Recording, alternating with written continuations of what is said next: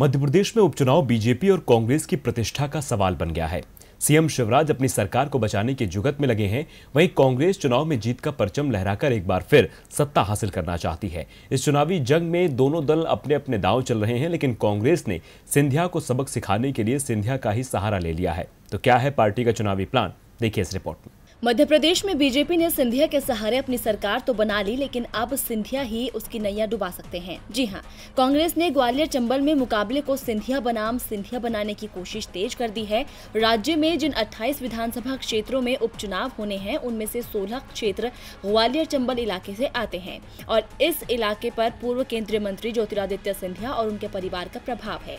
सिंधिया ने कांग्रेस छोड़कर भाजपा का दामन थामा, मगर कई उनके समर्थक ऐसे हैं जो अब भी कांग्रेस में हैं। लिहाजा कांग्रेस ने ऐसे नेताओं को उम्मीदवार बनाकर सिंधिया बनाम, सिंधिया मुकाबला बनाने की जुगत तेज कर दी है। कांग्रेस ने जौरा से पंकज उपाध्याय, ग्वालियर से सुनील शर्मा, मुंगावली से कन्हैया राम लोधी और बमोरी से कन्हैया लाल अग्रवाल को उम्मीदवार बनाया है। इन सभी की सिंधिया से नजदीकियाँ जग ज़ाहिर है।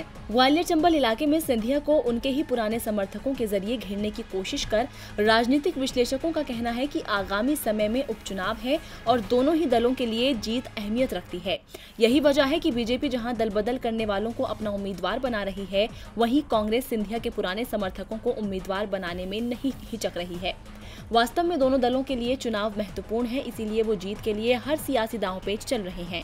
वहीं कांग्रेस की प्रवक्ता अजय सिंह यादव का कहना है कि जो नेता सैद्धांतिक हैं, जिनका कांग्रेस की रीति नीति में भरोसा है, उन्हें पार्टी ने उम्मीदवार बनाया है। सिंधिया, ग्वालियर, चंबल अंचल के नेता थे तो कार्यकर्ता उनके साथ थे। सिंधिया बीजेपी में गए, मगर वो नेता नहीं गए। इसका मतलब साफ़ है कि वो सच्चे कांग्रेसी हैं।